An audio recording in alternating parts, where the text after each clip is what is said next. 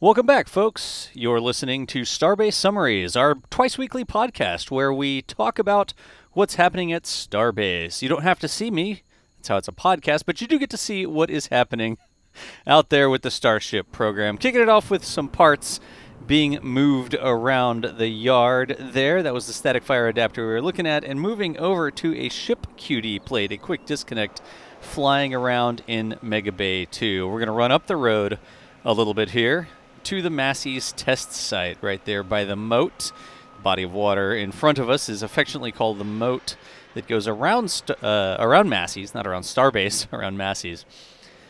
Over at Massey's, there's that B18.1 test tank. Still a lot of cleanup work happening after the ship 36 anomaly, observation, explosion, conflagration, deflagration, whichever, right? There's some cryo tanks over there as well. And delivery sign. Oh, we got a lot of shots of Massey's here. Seeing what's going on, I mean, a lot of the stuff at Massey's is, is not affected. It's just around that ship stand. But that's the nose cone jail. It's an old test structure.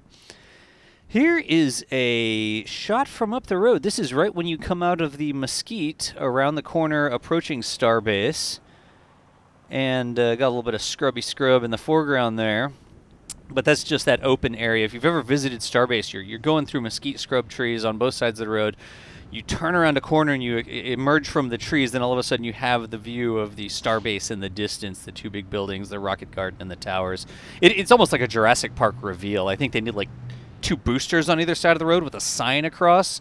So when you drive through, like the timpanis start to hit. Dun dun dun. Anyways, um, got a couple shots of various things on the approach to Starbase over here.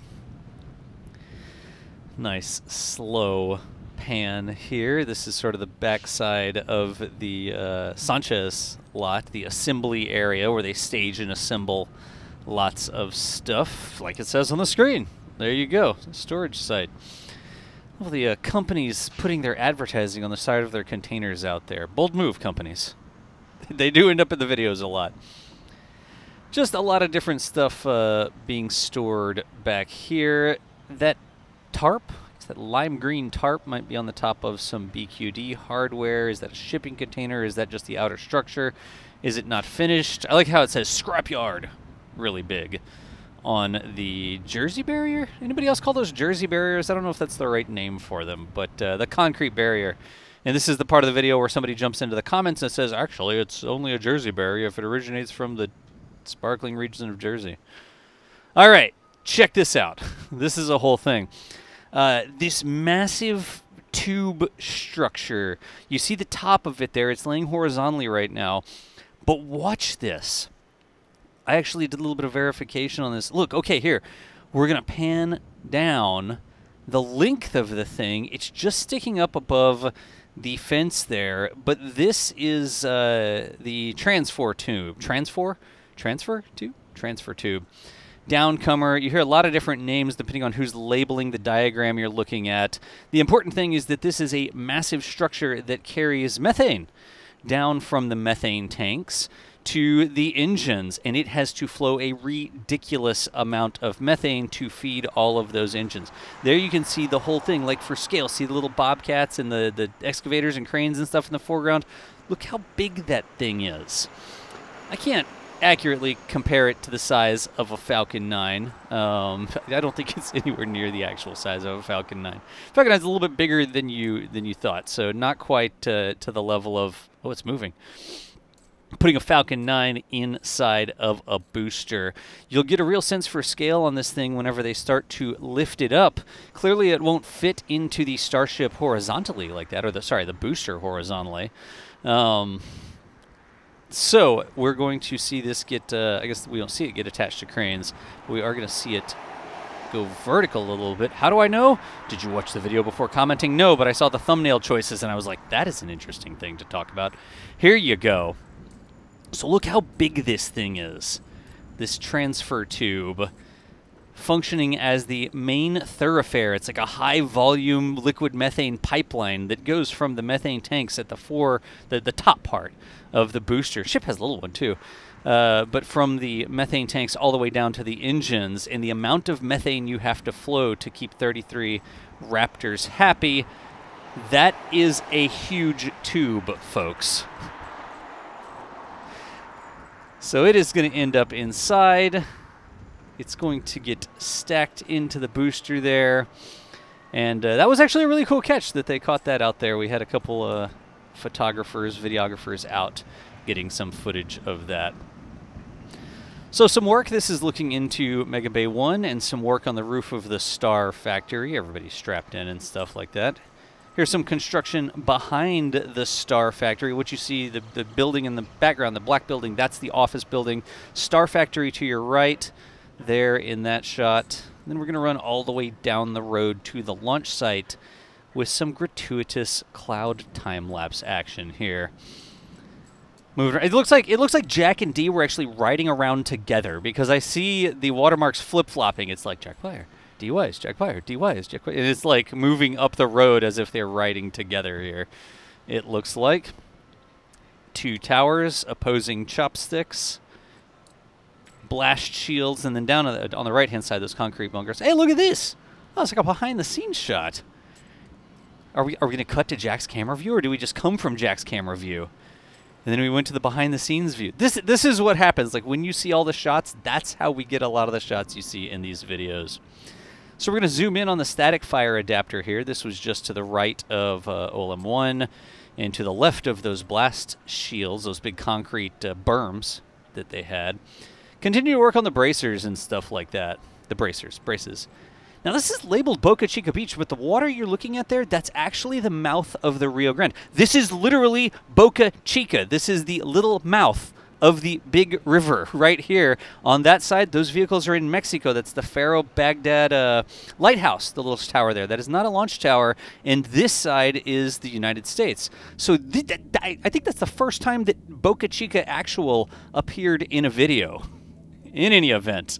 Looks like we're tearing down a vaporizer all the way back over at Matthews. I wonder if you have Matthews? Matthews. I think I called it Matthews last time. I wonder if you have to yell timber before you knock down a vaporizer.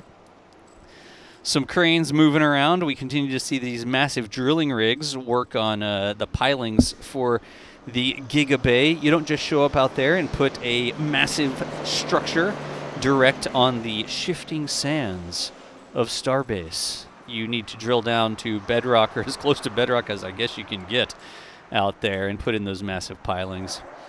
Then we're going to look back and do a quick pan, tilt actually, down the ship that is back there in the Mega Bay 2. That, of course, is ship 38. We've seen it there getting work done for quite some time. Tile patterns look like, like is it art? Is there a message in there? Pretty have anybody tried to scan that with their phone? See if it pops up a URL? That would actually be kind of cool. Huh.